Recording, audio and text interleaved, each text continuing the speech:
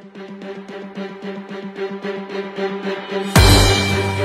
Naging matagumpay ang blessing and inauguration ng bagong proyekto ng Prime Water at Camarines Norte Water District o CNWD matapos masolusyonan ang matagal nang pinoproblema ng Barangay Bagasbas, Daet at Barangay San Jose Talisay lalawigan ng Camarines Norte sa mahinang supply ng tubig.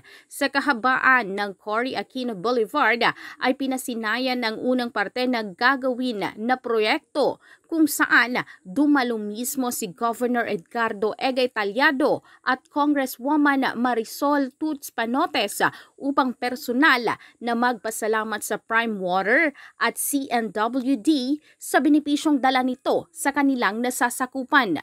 Yung commitment nila na one in one in one half month na magkakaroon na ng linya ng tubig at ngayon nga po nasaksihan na natin na may lumabas ng tubig doon sa fire hydrant. So, congratulations.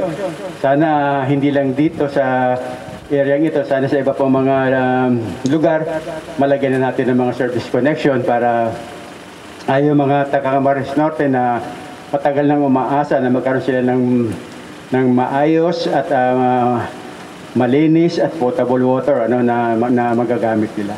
So muli, maraming salamat sa Prime Water at sa Water District. Mabuhay kayo.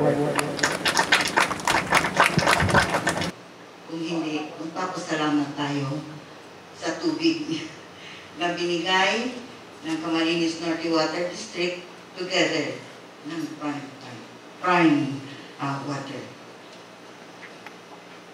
Sa totoo lang, the best, one of the best things that ever happened in my life is when I was the director of Camarines Norte Water District. I learned a lot I enjoy nila. Napakasaya ng aming samahan sa CNWG. At alam ko po na hanggang ngayon, ganun pa rin ang inyong nararamdaman. Sa panayam ng BHTV kay Engineer Mark Anthony Moroda II, ang branch manager ng Prime Water Camarines Norte, magpapatuloy ang proyekto hanggang sa Phase 2 na matatapos rin ngayong taon dahil na rin sa suportang ipinapaabot ng provincial government sa pangunguna ni Governor Edgardo Egay Talyado. So we diverted yung water from Talisay, directly na po yun sa source natin. Hindi na po sila makikipag-agawan sa source na galing mismo sa sentro ng daet. No? So isa po yun kasi sa naging problema na bago pa makarating ang tubig sa Bagasbas is consumed na ng daet kasi nandun po yung demand din. No? So, we decided na since yung Cory Aquino Boulevard naman is matatapos na, so nag-pipe lay tayo doon. So, two birds in one stone, ika nga. No? Uh, number one is yung Bagasbas, Barangay Bagasbas. And then number two is yung developmental projects ng Provincial Government of Camarines Norte. At saka yung mga commercial establishments na rin along the, ano, the boulevard, ika nga.